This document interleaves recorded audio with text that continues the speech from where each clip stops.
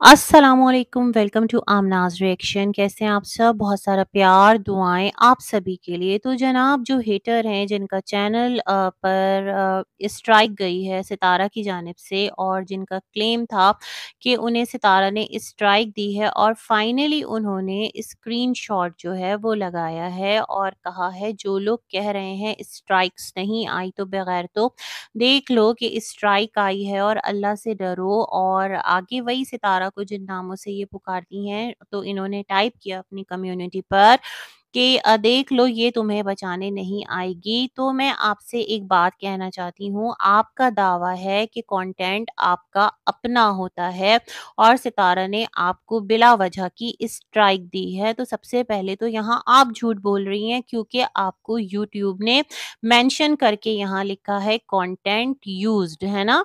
जब यूट्यूब आपको लिख रहा है कंटेंट यूज्ड तो इसका मतलब ये है कि आपने उसका कंटेंट यूज़ किया है और इसको तो फिर आप जाकर चैलेंज नहीं कर सकती। यूट्यूब आपको ऐसे ही तो स्ट्राइक नहीं दे देगा। एक अच्छा सब्सक्राइबर काउंट रखने वाली अगर यूट्यूबर है, आप मानते हैं ना सितारा यासीन, और आपका कहना है कि आप उसका कंटेंट यूज़ नहीं करती थी लेकिन जब यूट्यूब को सितारा ने स्ट्राइक्स के लिए कहा होगा तो लाजमन जो आपकी वीडियोज़ अ, उन्होंने मेंशन की होंगी तो उसको यूट्यूब ने चेक किया होगा, रिव्यू क्यू किया होगा। उनका पूरा एक रिव्यू सिस्टम होता है, ऐसे ही नहीं कि वो ब्लाइंडली आकर आपको स्ट्राइक्स दे देंगे। वैसे फ़ेक स्ट्राइक्स बहुत सारे लोग देते हैं बट वो फ़ेक होती हैं।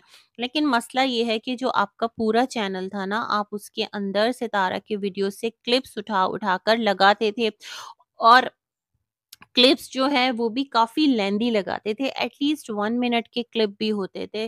तो मैंने कहीं सुना था, मैं आपको बता दूँ किसी रिएक्शन चैनल पर जो रोस्टिंग नहीं करते उनसे मैंने एक टाइम पर क्वेश्चन किया था कमेंट्स में जाकर तो उन्होंने कहा था कि जो क्लिप्स यूज़ करते हैं ना बहुत माइनर से यानी सेकंड्स के अगर क्लिप यूज़ कर लिए तो इट्स ओके अदरवाइज़ अगर आप बड़े क्लिप्स यूज़ करें तो फिर स्ट्राइक्स आ सकती है। तो यहाँ तो पहले आप खुद को अपनी गैरत को खंगालिए, झंझोड़िए और देखिए कि आप क्यों लोगों से झूठ बोल रही हैं कि वो आपका अपना कंटेंट था। उस पर जो आप रिव्यू देती थी या आप जो गलत बातें करती थी या जो गलत ज़बान इस्तेमाल कर लेती थी रिव्यू के साथ, वो गलत ज़ुबान बेशक आपकी थी, लेकिन जिस चीज़ को बेस बनाती थी ना अपने वीडियो के स्टार्ट में ताकि जो लोग हैं ज़ाहिर-सी बात है उस क्लिप को देखकर आपकी जो व्यूअरशिप है वो ज़्यादा बढ़ती थी। तो वो किसका कंटेंट था? वो कंटेंट था सितारा यासीन का। तो ये आपने यहाँ पर भंड मारा है। वैसे आपको जो आपकी कम्युनिटी पोस्ट है ना, वो खुद आपके मुँह पर एक स्लैप है क्योंकि वहाँ पर लिखा हुआ है कंटेंट यूज्ड। तो यहाँ पर बेगैरतों और गैरतों करने के बजाय थोड़ा-सा मिरर जो है ना, उसको अपनी तरफ़ अगर आप कर लेंगी तो आपको नज़र आ जाएगा कि असल में गैरती और बेगैरती कहाँ है और अल्लाह का नाम लेकर कौन यहाँ पर लोगों को मिसलीड कर रहा है और कौन लोगों को यहाँ पर किस तरह का हक सच दिखाने की कोशिश कर रहा है और कौन जो है वो माशरे में बेहतरी चाहता है और किसका मतलब सिर्फ़ और सिर्फ़ हेट फैलाना है।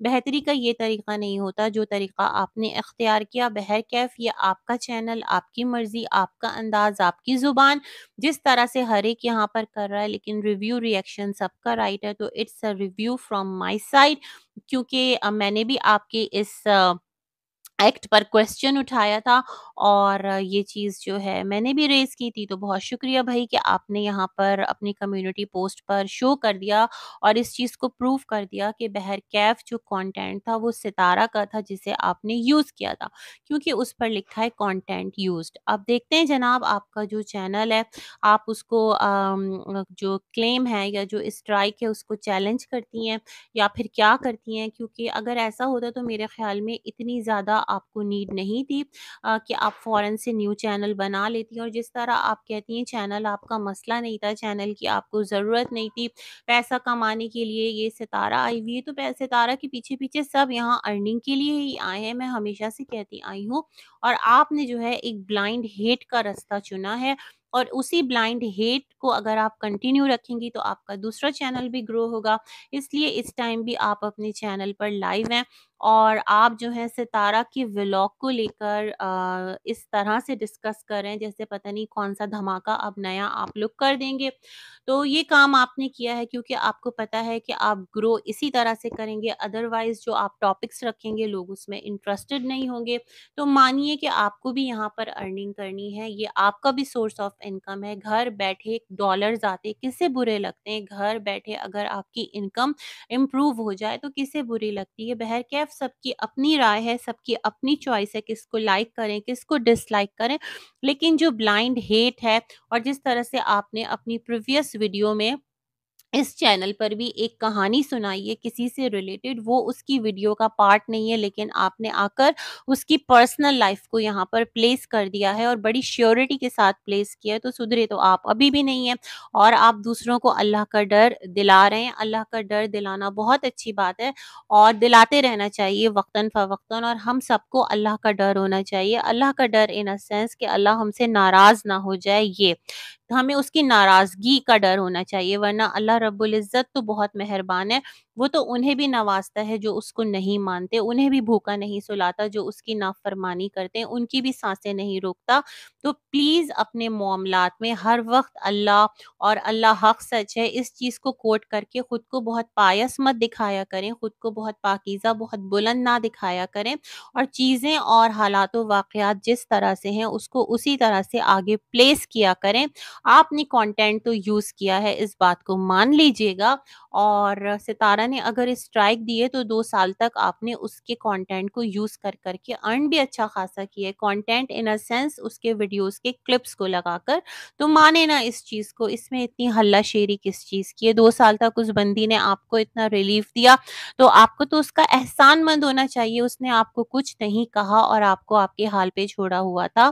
तो यहाँ पर भी आप इतना भपड़ गए। This is not fair at all. बाकी रिव्यू रिएक्शन करना सबका हक़ है, आपका भी हक़ है, आप भी दीजिए और अल्लाह आपको भी हिदायत दे, मुझे भी हिदायत दे और हम सबको हिदायत दे कि हम अपनी जो जबान है ना, उसको संभाल कर किसी के भी बारे में बात करें। क्योंकि हमारी किसी से कोई पर्सनल दुश्मनी या क्लैश नहीं है, इस चीज़ को समझिएगा।